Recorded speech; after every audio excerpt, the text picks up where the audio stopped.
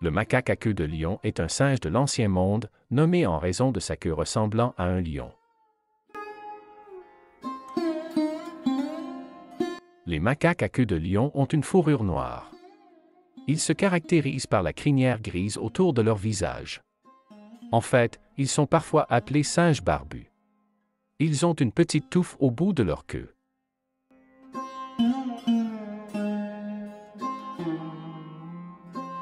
Les mâles macaques à queue de lion sont plus gros que les femelles. Tout comme les autres macaques, ces singes ont aussi des poches pour les joues. La poche contient presque autant de nourriture que possible dans leur estomac et ils utilisent leur poche pour stocker temporairement de la nourriture.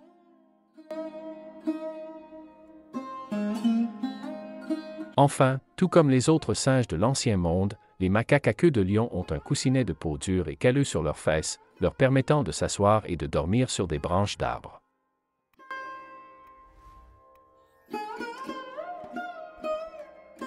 Dans la nature, les macaques à queue de lion ne sont originaires que de l'Inde. Là, ils vivent dans les collines et les montagnes des gaz occidentaux du sud-ouest de l'Inde, où ils vivent dans les forêts tropicales humides et sur les flancs des montagnes élevées.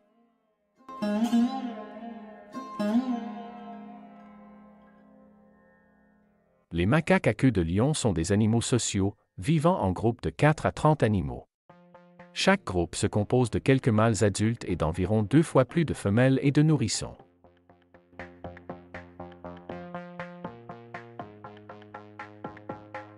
L'un des mâles est le mâle alpha et le chef du groupe.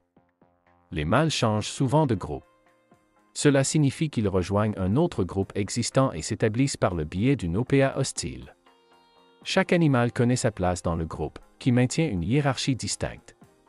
Les mâles ont peu de contact entre eux et restent souvent à distance. Les femelles restent au sein du groupe et adhèrent à une hiérarchie claire et linéaire.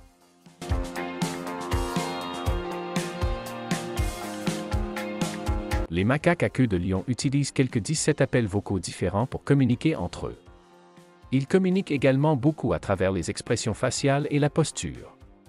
Leur queue est également un élément majeur de leur communication. Les animaux dominants tiennent leur queue droite.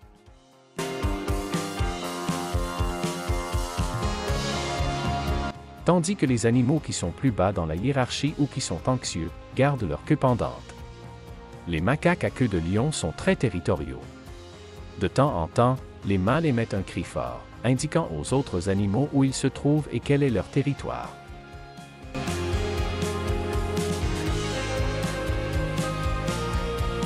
Pendant la journée, les macaques à queue de lion sont occupés à chercher de la nourriture.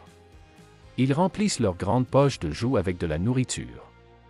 Plus tard, quand les choses sont plus calmes, ils mangent leur nourriture.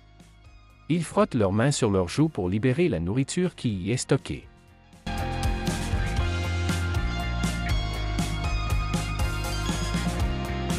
Les femelles fertiles présentent un gonflement bien visible sous leur queue. C'est un signal clair au mâle qu'il est temps de s'accoupler.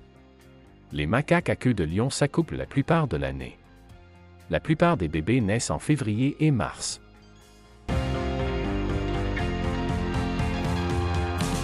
À la naissance, ils ont une fourrure très douce, presque pelucheuse. À environ deux mois, leur fourrure devient mature et leur crinière caractéristique se développe. Les mâles deviennent sexuellement matures lorsqu'ils atteignent l'âge de 8 ans. Les femelles arrivent à maturité plus tôt, à l'âge de 4 ans.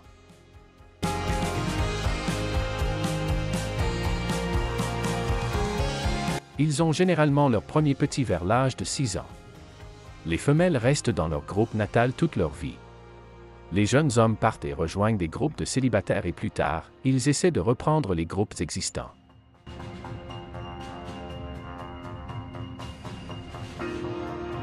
L'habitat des macaques à queue de lion se rétrécit et est devenu très fragmenté. Il existe actuellement trois sous-populations qui ne sont pas connectées les unes aux autres.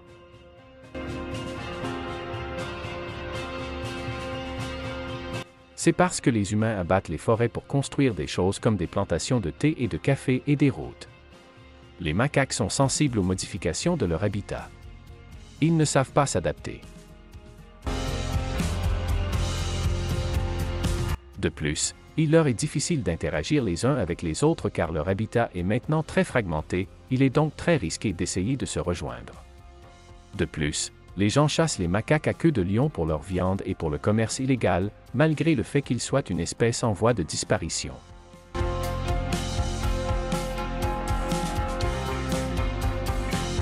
En tant qu'animaux omnivores, les macaques à queue de lion se nourrissent d'une grande variété d'aliments, bien que les fruits constituent la majeure partie de leur alimentation.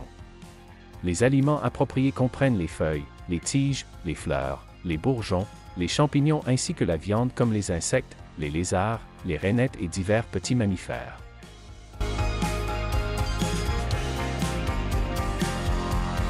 Les eaux participent à des programmes de reproduction spécifiques et les autorités locales du sud de l'Inde ont établi des mesures visant à protéger la faune locale. Il existe une quinzaine de parcs nationaux et de réserves naturelles dans les États où le macaque à queue de lion est présent. Aujourd'hui, plus de 400 zoos dans le monde accueillent cette espèce.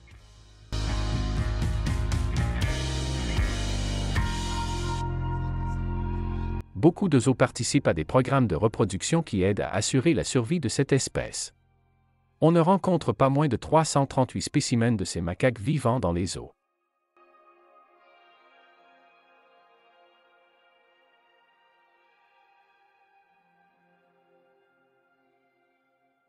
Aujourd'hui, l'espèce n'est plus sur la liste des 25 espèces de primates les plus menacées dans le monde.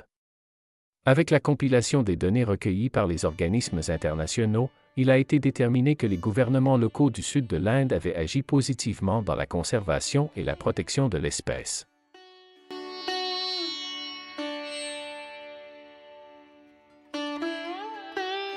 La ménagerie du Jardin des plantes de Paris détient au moins sept spécimens de le macaque à queue de lion, un mâle adulte reproducteur et trois femelles chacune ayant tué un jeune en 2014.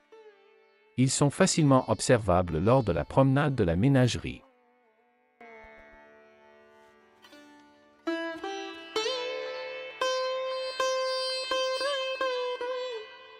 Merci d'avoir vu cette vidéo, à bientôt.